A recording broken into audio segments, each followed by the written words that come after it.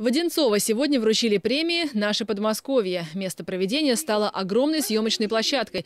10 номинаций, как 10 частей большого кино. Химки также внесли свою лепту в создание картины. Сразу два проекта жителей городского округа стали лауреатами губернаторской премии. Химки признаны самым зеленым регионом благодаря проекту «Экобокс». Мы делаем, мы устанавливаем а, специальные эко-контейнеры, да, оранжевые они называются эко-боксы, они предназначены для сбора и временного хранения опасных бытовых отходов, да, то есть это ртуть содержащие, сберегающие лампы, градусники батарейки, вот, потому что они несут вред да, при неправильной утилизации. Поэтому мы их устанавливаем на территориях вот, Московской области.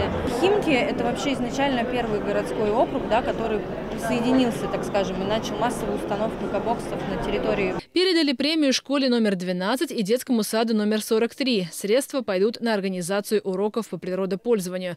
Кстати, узнать о том, где устанавливают экобоксы, кто сегодня выступает в ДК «Родина» и многое другое можно из новостей гостей молодежного медиацентра Любови к Лениной. Он был отмечен специальной премией губернатора в номинации «Молодежь Московской области». Для меня очень большая заслуга, когда воспитанники нашего медиацентра от материала к материалу пишут лучше, прибавляют э, в своем мастерстве.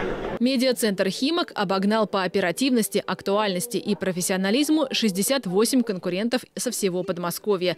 В этом году наградами отметили 3000 участников. Всего на премию «Наше Подмосковье» было подано почти 37 тысяч заявок. Из них от нашего городского округа более трех с половиной тысяч.